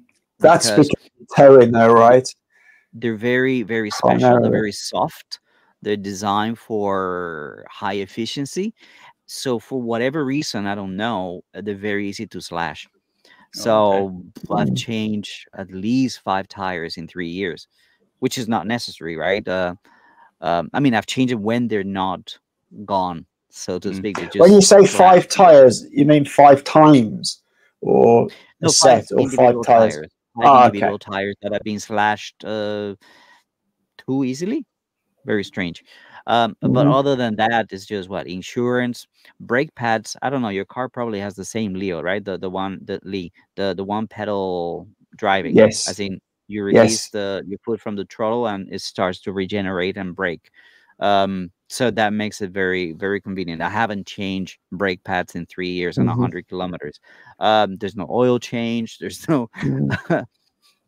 I mean, as far just- as as cool maintenance goes, it sh- an EV should be much cheaper than an IC because it's far less complex. Actually, um, Mhm. more of the an EV is electronics. Um, I mean, that, that that's the only one thing. If if something like the main processor unit was was to fail, that would probably be quite expensive to um, replace. But again, buying a new car, it comes. I, I, think the car actually we bought comes with a. I think from memory, it's a four-year warranty on the car and an eight-year warranty on the battery, or a three-year and an eight year, something like that. So you know you're covered for a, a fair amount of of time. Um, but I think servicing costs, it's really just tires and brake pads because there's no lubric. Oh, there's no lubricants as such like a, a ICE vehicle. Um, so no dripping you know, oil it's, it's a, driveway, Not at all. Not at all. No, uh, yeah. I, I like Fernando's. I think ours has two motors. We bought this four wheel drive version, but I think Fernando has three motors in, in yours, right? Mm. I think ours has two, but it's still significantly. I mean, it's more powerful than what what you'd ever need. I mean, it, it, it it's mm. like you know they all quote fun. these 0 to 100 kilometer an hour figures, but really they're they're pretty meaningless because they're all way faster than IC most IC vehicles unless you're paying crazy money. You know, I had a BMW 328i many years ago, and I thought that was fast and this EV we bought significantly quicker. You know, we're never going to use it. It's just, it's just figures manufacturers like to quote, isn't it? You know. It's, Also, no, but it's uh, nice to smoke, guys. Uh, you, you like, you really want to do this? I've been in Fernando's car when he did that. Holy! And I, I used to yeah, I mean they are fast. These cars around London. I can tell you the acceleration on a Rover SD1 is nowhere compared to what, what the hell just happened. Uh, Kevin just asked a question. Um, th this question: Do you have terrain, highway tire, terrain or highway tires? I guess you can get four wheel drive tires for your. Yeah, you you you can get anything, but again, as as everything is designed for performance, for efficiency, for right. So you even have mm. like wheel wheel covers and whatnot to make it more aerodynamic. So most of these mm. cars sell with um, highway uh, tires. A yeah. few that are designed specifically for off road, then they would have their off road tires. But you can put anything you want, basically. Um, it's just going to affect your range and, and how quiet it is, or yeah. Mm-hmm. But okay. you can fit anything. Okay. Something I'd like to ask Fernando actually, because he has mm-hmm our car is relatively new. We have the longest journey we've been is like 300, just over 300 kilometers. One thing that does concern me, um, and, and, again, we've got a pure electric, is is getting stuck in traffic jam. I, you're probably aware that recently there were there was some horrendous traffic jams um, in part of China. I mean that, that was extraordinary because it was down to that. Just concerns me a little bit. So, what, what's your strategy for, for that? Do you do you turn your car off? or how do you deal uh, with that? Well, we haven't been stuck in too many traffic jams, but look, I I I, found um, a measure um, in my in my console in my mm-hmm. dashboard mm-hmm. that I find very useful, which is the um, instant consumption, and that allows me to calculate because I'm carrying extra, right? The the car yeah. gives me a range, but it doesn't. The car doesn't know that it's pulling sure. so much weight, of right? Course, so yeah. the range that it gives me is historical, but is not that accurate. But I I know that if the car is consuming for, I have a, hundred kilowatt hour battery, right? But mm-hmm. if I'm mm-hmm. consuming 50 kilowatt hour, right? I know that I can drive at this speed for two hours. Mm-hmm. Just simple math, right? Simple, very sure. simple calculation. And then based on what speed I'm going, okay, this many hours, I'll make 150, 180. Simple math based on that instant consumption. Um, uh-huh. so as long as I don't, I, I, have an interesting video about that when I went to Yunnan in my Are There uh, Are We There channel.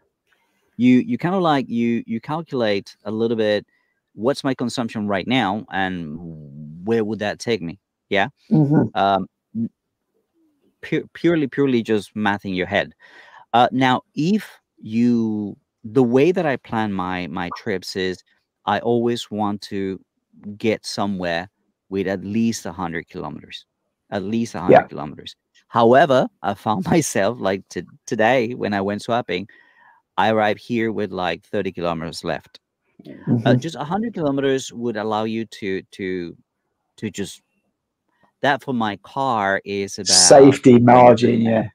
yeah, Yeah. you you give yourself a buffer um in winter things like that you you need to be cautious because um your battery range your distance will redu- be reduced with cold Mhm. temperatures so sometimes when you're in in close to zero sub zero then the batteries will drain really really fast you get used to it you just change the way you look at your your Yeah, your just a different right? mindset, right? Yeah.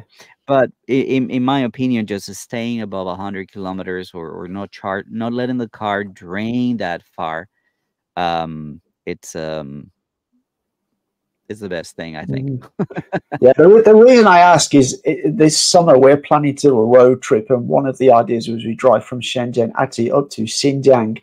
And uh, my big Yes. concern is some of those roads. Um, you know, we our CLTC is around 500 kilometers, but right now we find we get somewhere between 320 and 380 kilometers um, in real conditions. And Yeah. that's concerning me. Um, but I didn't know there were third party um, services where you can get that truck. I didn't know that was available to, yeah to yeah i mean users. privately i can share some information about about how Yeah, other people do it because please. other people go there there's tons of evs out there Sure.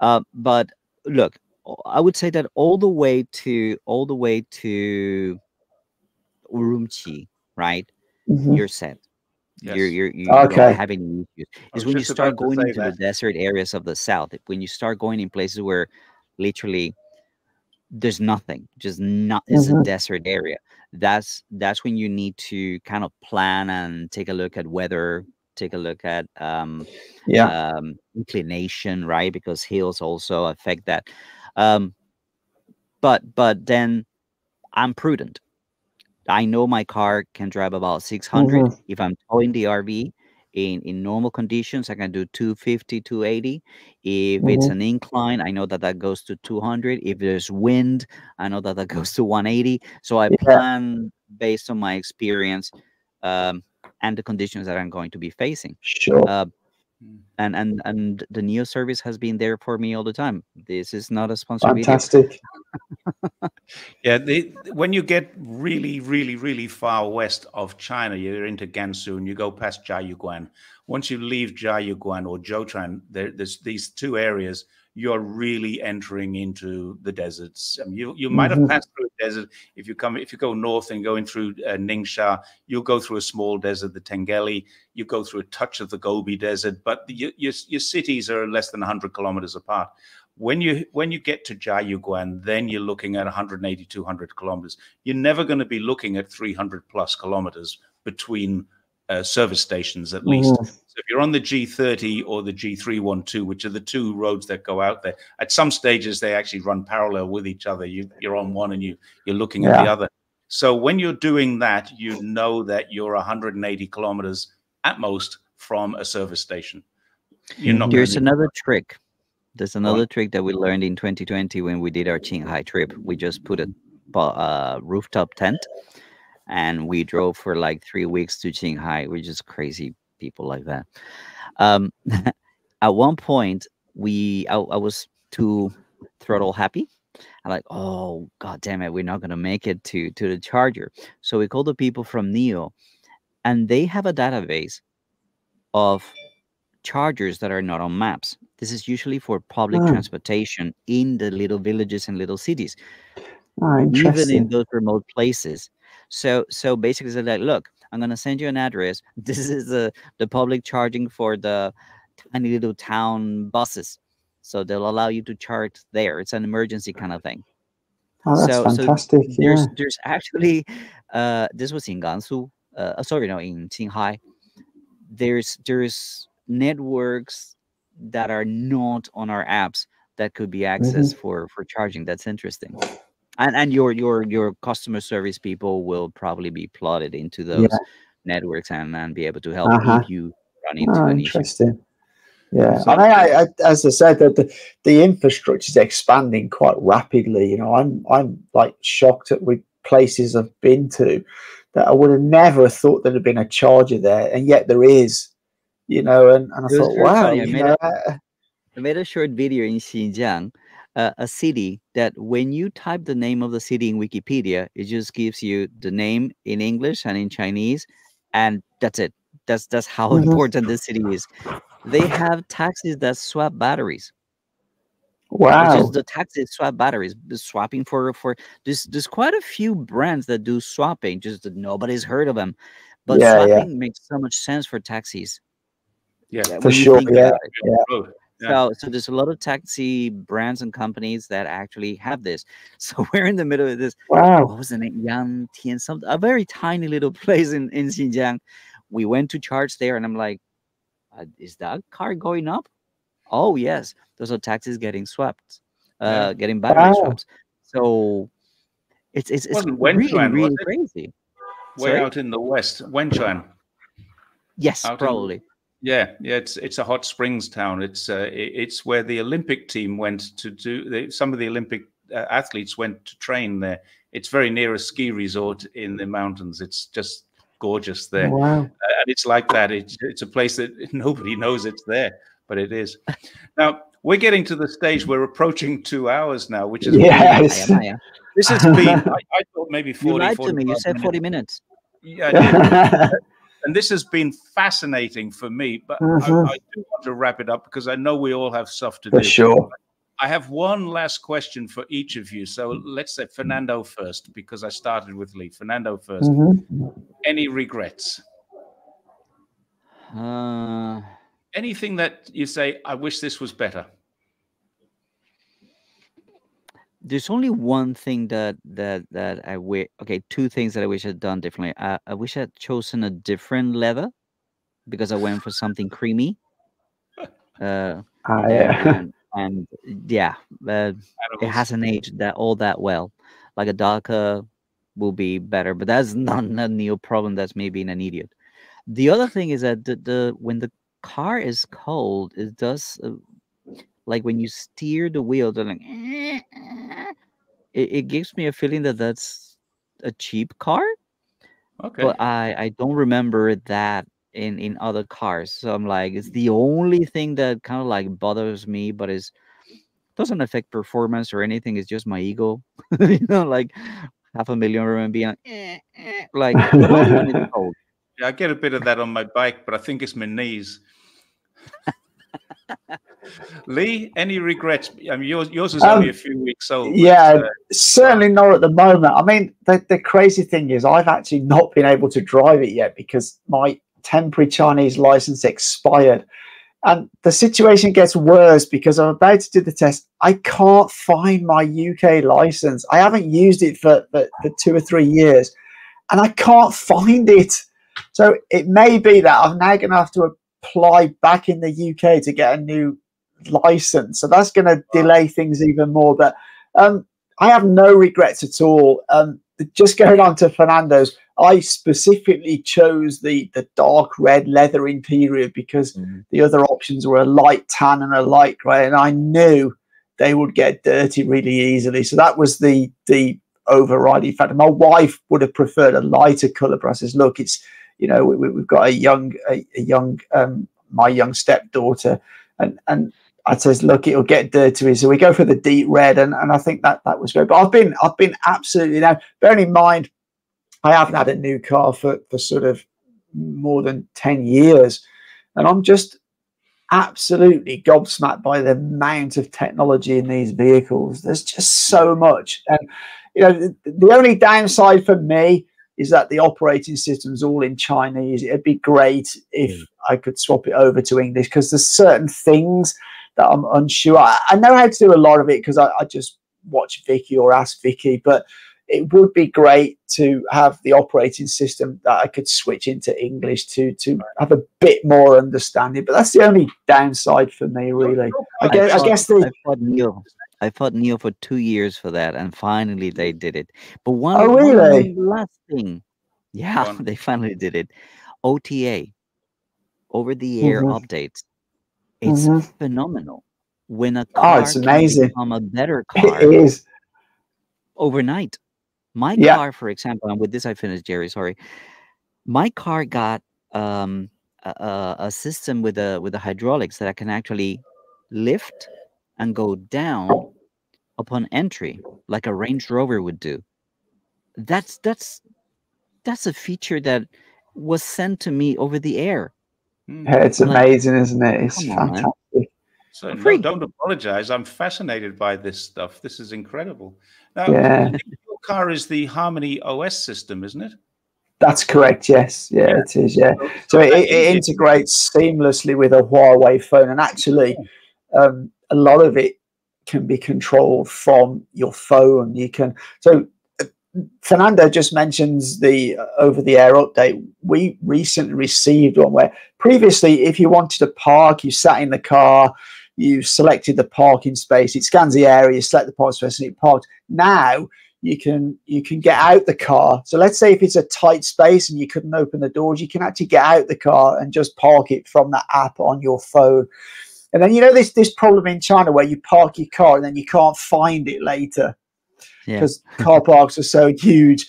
Again, the app has like a finder and it'll like direct you to where your car is in the car park. So that that saved us a lot of time on a couple of occasions. So just things like this with these modern cars are just great. You know, it's just so convenient to do things like Is that. the thing? It's just it's just software that is so easy to replicate. It's Yeah. very different from from from making better wheels or making better steer wheels. It's just sure, you yeah. make software once and just. So Yeah. the cost of these kind of cars will keep on reducing, and and you For can make sure. it better for. Yeah, Mhm. That's I, I think I, I think the cost of the cars are because the government keeps subsidi- subsidizing them, and the EU ought to impose massive tariffs to stop them. The spy cam, the spy cams. And the Yeah. bike, and the burst into flames, and what, what Yeah. else? so many things. oh, oh, they, they they can shut all cars down instantly. That that was the. Gina Raimondo thing. Yeah, they so so they, they're really concerned about Teresa going shopping to Tesco's. They can shut her down immediately. You know, it's like it's just ridiculous. yeah, I think Gina Raimondo's a bit. Uh, she she opened her mouth a little bit too early on that one. It's a smartphone on wheels. I um, I think she said iPhone, but the, the the the quote is it's a smartphone on wheels. What does that tell you about smartphones in America?